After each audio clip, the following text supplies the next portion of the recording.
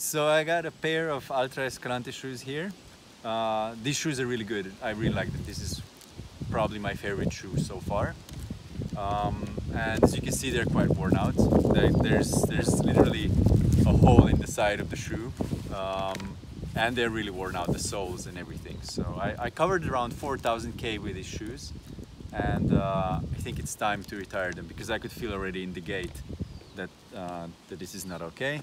So um, just a few months after I bought these shoes, I bought, I liked them so much that I bought an, an exactly the same type of shoe. So these are brand new and, and these are the old ones. So I've always wanted to know how much a pair of shoes gets lighter by covering such a distance. You know, how much material do, do they shed over, over that distance. Um, I didn't weigh these when they were new, but um, I think that this is going to be quite a close approximation so that uh, I can do this little experiment. So I brought with me a, a, kitchen scale. It's accurate to one gram. I know I cannot really weigh precisely, but it's going to be a good, good estimate. So let's put this on the scale. So let's first weigh the new pair they weigh 518 19 grams.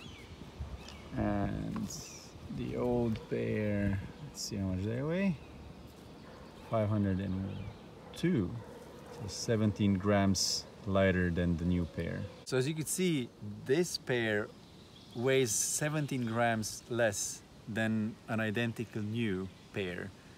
And 17 grams might not sound like very much for one pair of shoes but if you think about it, what it means for, you know, a big number of runners, it's not very much.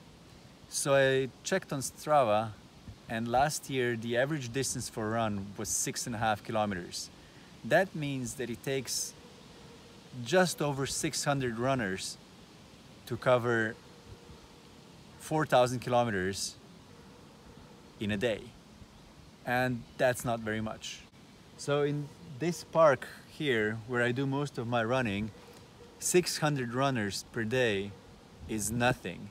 I'm sure there's probably thousands of runners here every day and many of them cover a lot longer distances than six and a half kilometers. So if you just think about it, that's kilograms and kilograms of, of this most likely rubber and polyurethane material in really, really small particles dusted all over the place around here. So just think about it. Um, again, on Strava, last year there was over 2 billion kilometers logged.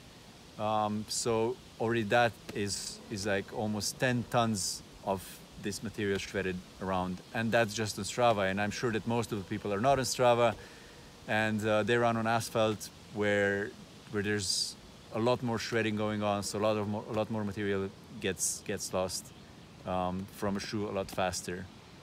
So while these shoes are great and I love them, um, they're far from perfect, and I think it's time that shoe manufacturers start making biodegradable, environmentally friendly soles so that uh, we don't have to worry about all of the material that we leave in the environment where we live